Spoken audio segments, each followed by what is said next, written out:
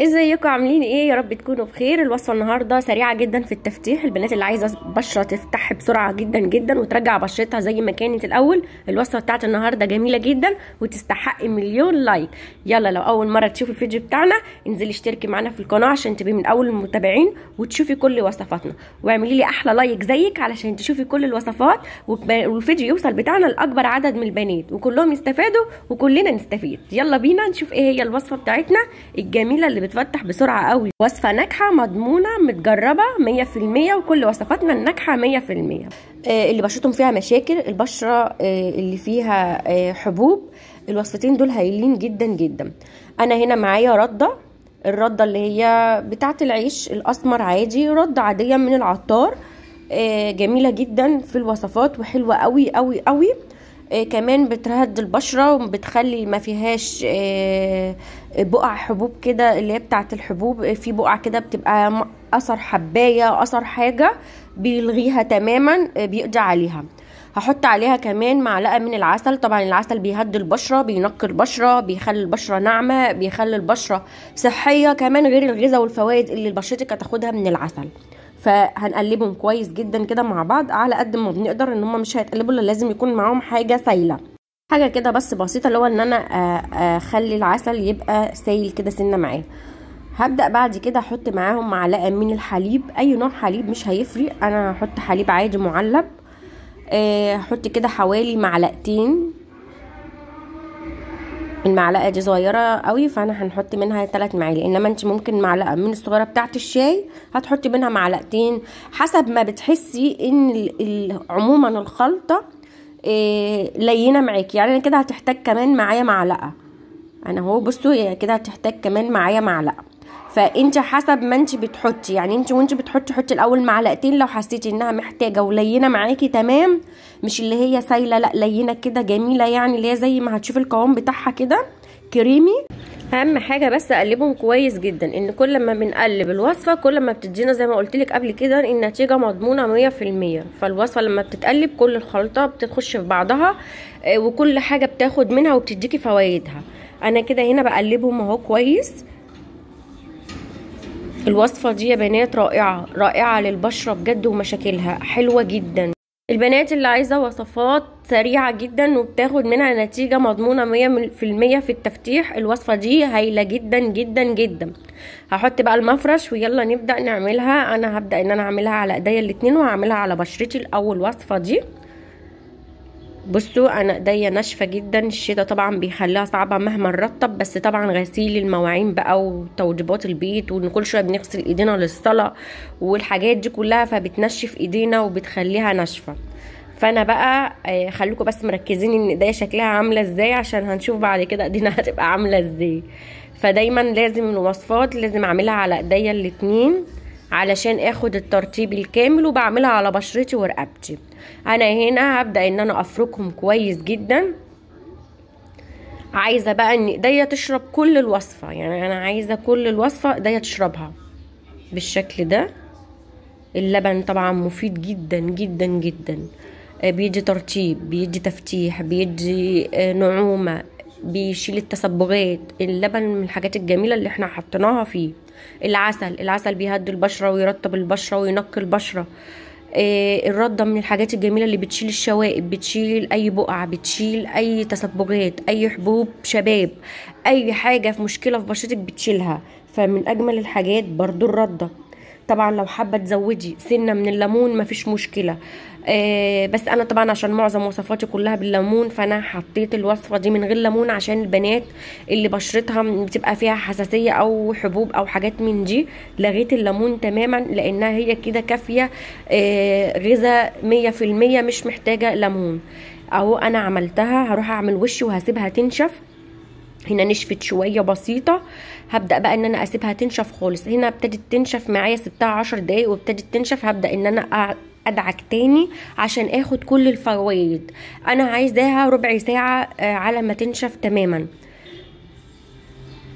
بصوا يعني نفضل كده طول ما إحنا عاملين الماسك نفضل نعمل كده نخلي بشرتنا كلها تشرب الوصفة غير إنها تشرب الوصفة بنجري الدوره الدمويه كمان بنخلي البشرة آه شايفين؟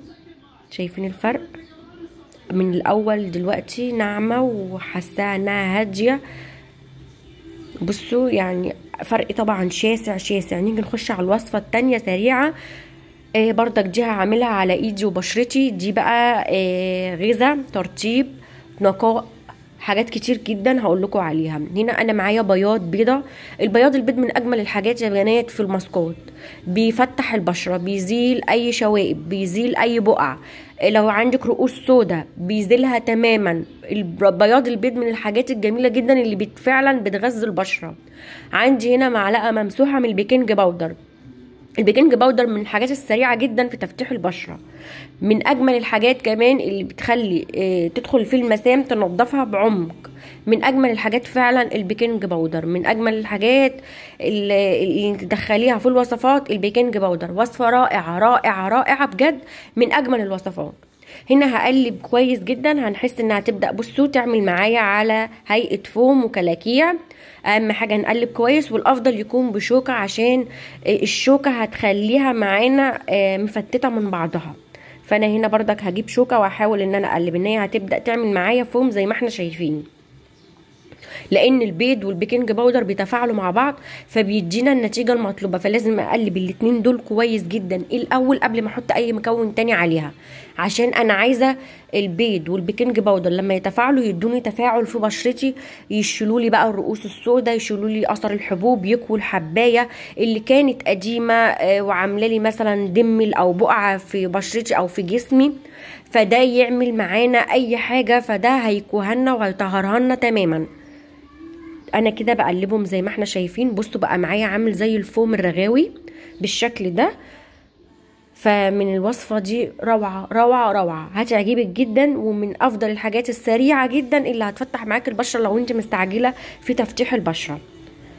هنا بقى بعد ما استخدمنا ال baking powder وبياض البيض هاخد معلقة من النشا. طبعا النشا هنا قرب يخلص معايا فعقبال ما أجيب إن النشا من أكتر الحاجات اللي بستخدمها في الوصفات لأن من أفضل الحاجات وأسرع الحاجات اللي بتفتح البشرة جدا. طبعا البنات اللي بتفتكر هتفتح تفتح اللي هي تبقى مثلا سمرة. يعني أنا أنا سمرة مش بيضة. لما فاكرة إن أنت هتفتحي تبقي قشطة والبياض اللي هو البياض لا مفيش حاجة اسمها كده. أنت ربنا خلقك بلون معين فانت الوصفة بتديكي درجة التفتيح الملحوظ اللي هو مثلا تنوري. يبقى بشرتك طبيعية ومنورة.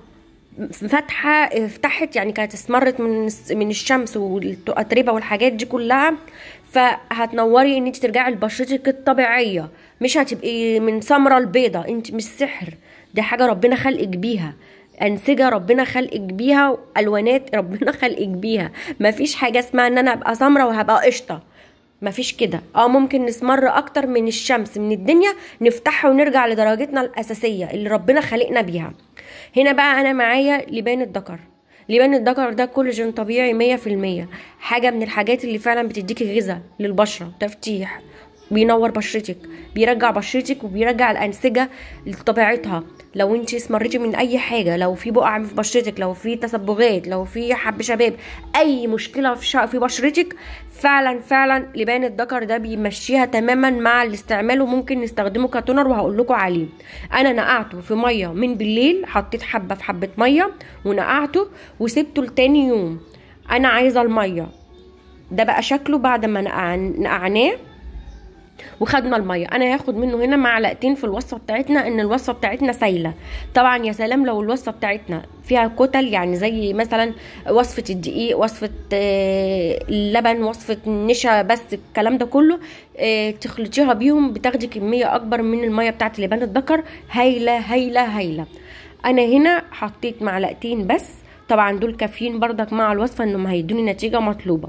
هنا بقى أنا حطيت ليمون عشان أحط الوصفة تبقى متكاملة للتفتيح وتبقى سريعة معايا للنتيجة اللي هنشوفها في آخر الفيديو فعلا. يعني الوصفة فعلا هتبقى رائعة في التفتيح.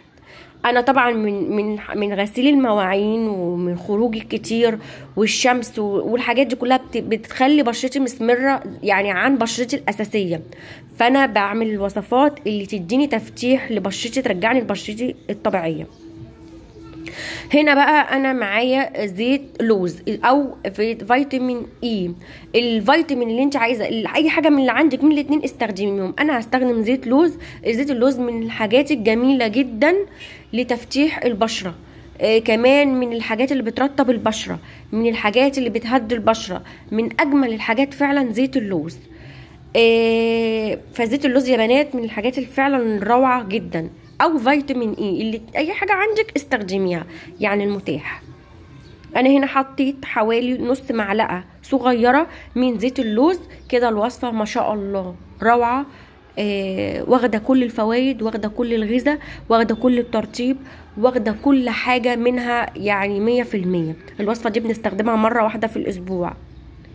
هنا بقى هبدأ إن أنا أدهن إيديا. أنا هعمل إيديا الاتنين وهعمل بشرتي.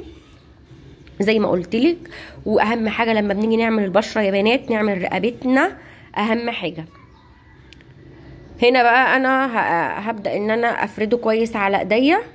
هنا أنا مليت إيديا خالص هسيبه ينشف. عملت إيديا الاتنين زي ما إحنا شايفين. أهم حاجة نسيبهم يا بنات ينشفوا. أنا سبتهم حوالي عشر دقايق ينشفوا. بعد كده برجع إن أنا بردك أدهن تاني. لو أنا حابة الطبقة تبقى سميكة. لو حابة إن الطبقة تبقى عادية زي ما أنا عاملاها أنا عاملاها طبقة عادية. لأن الثمار اللي عندي مش كتير. الثمار اللي عندي حاجات بسيطة. فأنا عملت طبقتين بس. انت حابة تحطي طبقة بعد كل ما بتنشف عشان تاخدي فرق أحسن.